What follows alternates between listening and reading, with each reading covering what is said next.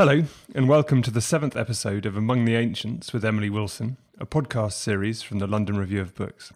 I'm Thomas Jones, an editor at the LRB. Emily Wilson is Professor of Classical Studies at the University of Pennsylvania. Hello, Emily, and thank you for joining me. Thank you for being here. So, after six episodes on ancient Greek poets and dramatists, we're moving west now to Rome and skipping forward a few centuries.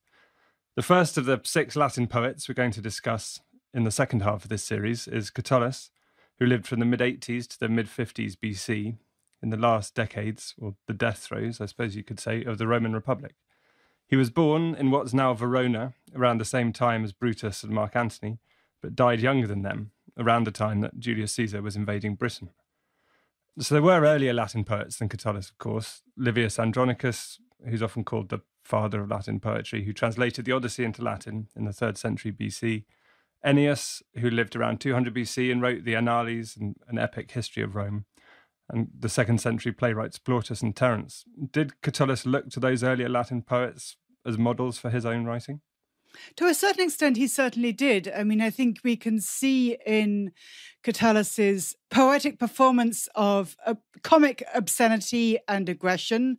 That's a big theme in Roman comedy. And also the central theme in the love poetry of Catullus of evoking the mixed, complicated emotions of an elite young man who's pining for an inaccessible female love object.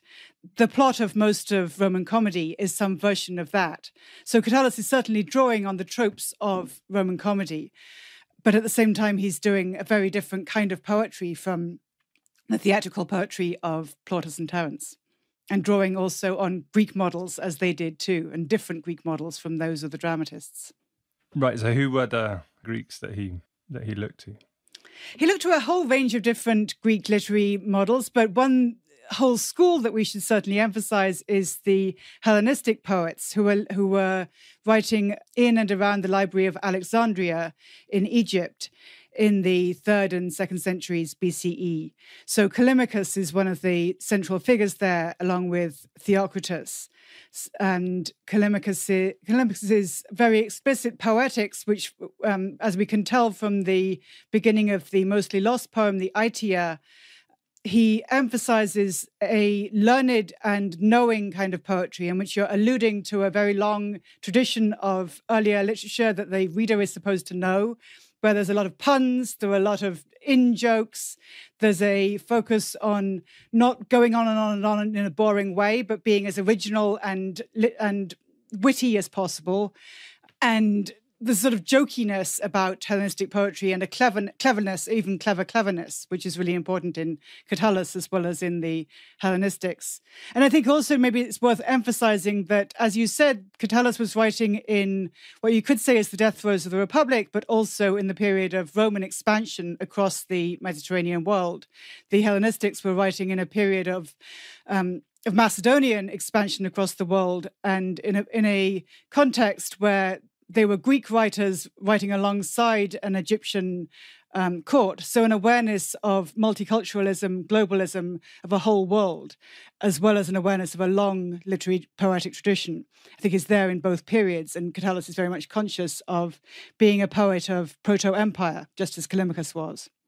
And Cicero, the orator, statesman, lawyer, letter writer, referred to, to, to Catullus and his friends as the Neoterics what did that name mean?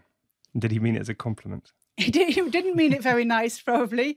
Um, uh, Cicero had a whole political feud with um, with the brother of the, the, woman whom Catullus probably had a long-standing adulterous affair with. We'll get into that in a few minutes. Catullus and his and his circle of literary friends were very self-consciously um, marketing a new kind of poetry, a technically virtu- virtuosic kind of poetry, which is displaying its newness all the time, and that's part of what it means to be ne- to be a neoteric poet or to be a lepidus poet, is to have a technical virtuosity and a coolness, which is not associated with the, the old work of Ennius. Right, and so the, the like the, the neoterics, it's like new kids on the block or something.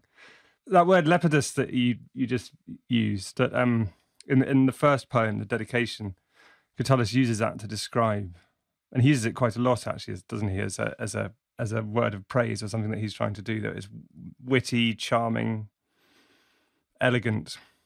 But it, it has it has a, some pejorative implications as well, but not as used by him. But it, sort of some some people used it to imply. I mean, we'll get onto the question of gender later, but weakness, effeminacy, these sort of, from a certain point of view, these un-Roman. It was a sort of an un-Roman characteristic. Right. So I, think one of the things that's so interesting about Catullus in general, including about his aesthetics, is the way that he is constantly skirting or jumping across these boundaries of of gender as well as of aesthetics, where he's both asserting, I'm the most ultra masculine poet you've ever read, but then also I'm going to be fancy and um, in certain ways un-Roman. I'm going to be looking constantly to pre-Roman models in my uh, constant citing of the Greeks, and I'm going to be ultra polished and not rough, rude, authentic, traditional in the way that the previous generation of Roman poets might have been. So it's a way of sort of asserting this inhabiting of a complicated boundary between am I really masculine or am I am I actually in some way both un-Roman and unmasculine? So the, the 116 more or less intact, mostly short poems by Catullus that we have they survived to a tenuous line of manuscript transmission, right? The copies of lost copies of lost copies until the 14th century when they started to be copied more widely. And then they were first printed in 1472 along with the poems of Propertius and Tibullus. Is that right? The mm-hmm. slightly later poets. And they're arranged in this, they're arranged according to meter. We'll talk a bit later. You've already mentioned it. We'll talk more later about Catullus's remarkable technical range though we don't know who uh, who assembled and organised them. And as already mentioned, that the first poem is a dedication. It's dedication this little book, a libellus, um, to Cornelius Nepos, who is a friend of Cicero's and possibly a patron or admirer of the Neoterics. But we don't know if that libellus meant all hundred poems and more that we have, or just some of them. So that's one of the you know the many things that we don't know.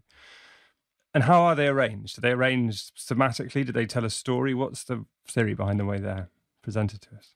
They're arranged sort of by form, in that we have a sequence of shorter poems and there are clusters that come together. So then we have the longer poems are all clustered together, and then the very short epigrammatic poems come at the end. Um, as you say, it's really unclear who put this this collection together in this order. Libellus is the diminutive of the word liber, meaning book. The complete works of Catullus, as we have them, are about th- are three books worth. So surely you, you would think that if you're introducing a three three volume set, you wouldn't call it a libellus. But there are lots of different scholarly theories about who exactly, when exactly, how exactly were these poems put together in this order the Hellenistic poets were very much interested in the ordering of books and book order as a way to create meaning. And you might think it would be unlikely that Catullus wouldn't have thought about how to order his poems. But th- there's really, I, I think, no way to tell to what extent was the order we have in any way authorized or was it nothing to do with what Catullus wanted. And there are ways that, I mean, not entirely, obviously, but to some extent, if certain meters are used for certain themes, arranging them metrically means you do get poems on similar subjects grouped together. But it isn't exactly his that the the story of the love affair. It doesn't go chronologically through that. But if we turn to those love poems, if we can call them love poems, first, and have a reading of poem eight, which describes or dramatizes a relationship that's ending or has just ended. Um, and this translation is by Peter Green. Wretched Catullus, stop this tomfool stuff, and what you see has perished, treat as lost for good. Time was, every day for you the sun shone bright, when you scurried off wherever she led you. The girl you loved as no one shall again be loved. There, where so many charming pleasures all went on, things that you wanted, things she didn't quite turn down. Then, for you, truly, every day the sun shone bright. Now she said no. So you too, feeble wretch, say no. Don't chase reluctance. Don't embrace a sad sack life. Make up your mind. Be stubborn, obdurate, hang tough. So goodbye, sweetheart. Now Catullus will hang tough. Won't ask, where is she? Won't, since you've said no. Beg, plead. You'll soon be sorry when you get these pleas no more. Bitch, wicked bitch, poor wretch, what life awaits you now? Who'll now pursue you, still admire you for your looks? Whom will you love now? Who will ever call you theirs? Who'll get your kisses? Whose lips will you bite in play? You, though, Catullus, keep your mind made up. Hang tough.